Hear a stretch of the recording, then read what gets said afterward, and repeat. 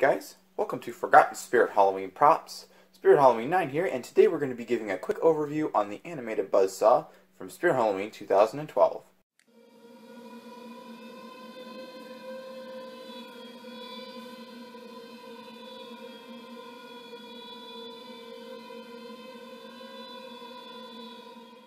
Okay, so as you guys can see, we have the animated Buzzsaw all set up. He is uh, really cool.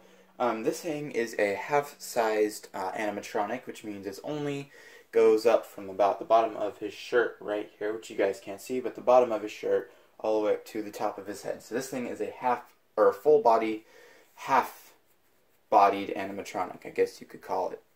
Uh, this animatronic was sold at Spirit Halloween in 2012, and only 2012 was sold in the stores.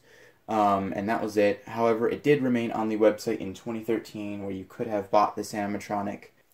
Um, this animatronic was actually purchased uh, in 2016. I, I was trying to find one of these and I went on the website.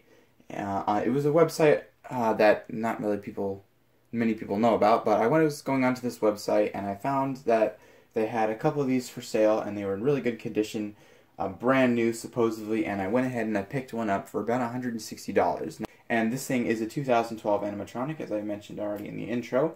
Now, for those of you guys who are not familiar with Morbid Enterprises, Morbid Enterprises makes a lot of those big, uh, life-size animatronics. They also make a lot of uh, really unique collectibles and a lot of really cool, uh, a lot of really cool, unique animatronics. They make a lot of unique things, like they make the um, the Palm Bleeder, and I know they've made the uh, this year actually they made the backpack zombie and the three-headed uh, guy. I forget what his name is. Um, the quality on this thing is not too bad. Um, it's mostly fabric. It's a mostly fabric animatronic with um, a plastic saw blade, plastic head, and plastic obviously internals.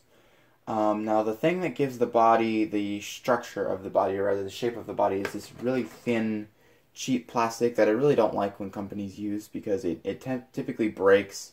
Um, I haven't really seen a whole lot of problems with this animatronic. Um, I have seen quite a few videos of where this animatronic has slowed down. Um, I don't actually know where you can still find this thing. I'm pretty sure you can still get him on eBay or if you want. Um, has very good detail. The face is detailed quite well. If you can see, there's various um, cuts and scabs and wounds in his head, which is quite interesting.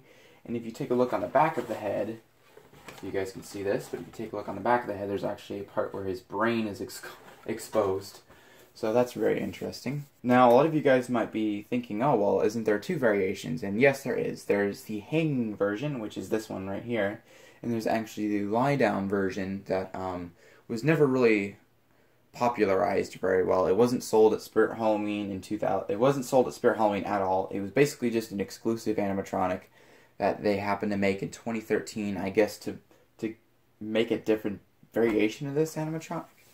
I'm not really sure how to describe that, but that's kind of cool. I mean, you get two different variations.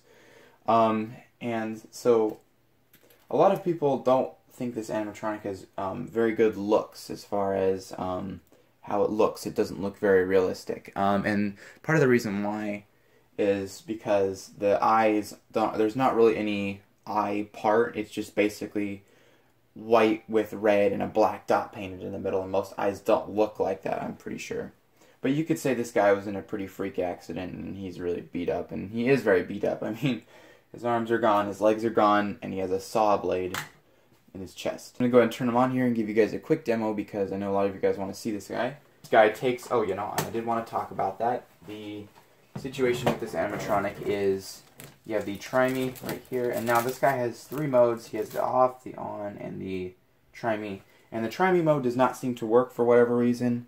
Uh, it's broken, but let me go ahead and get him turned on. He takes four AA batteries, as you can tell.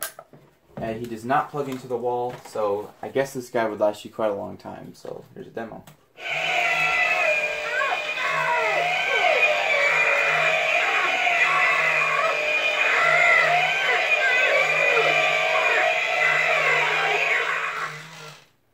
Now this guy is sound and motion activated, so he will be activated with a clap.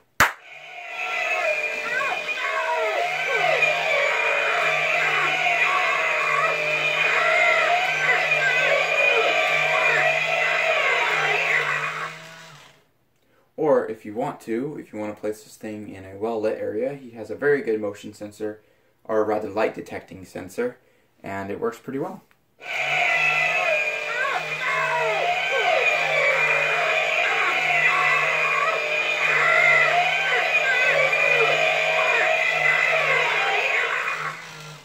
So guys, that's pretty much it for this animatronic. There's not really a whole lot to talk about here because it's a very straightforward animatronic. But anyway guys, I want to thank you guys so much for watching this video. Um, be sure to subscribe if you like these videos. Leave a comment or give a thumbs up if you enjoyed this video. And I'll see you guys in the next video.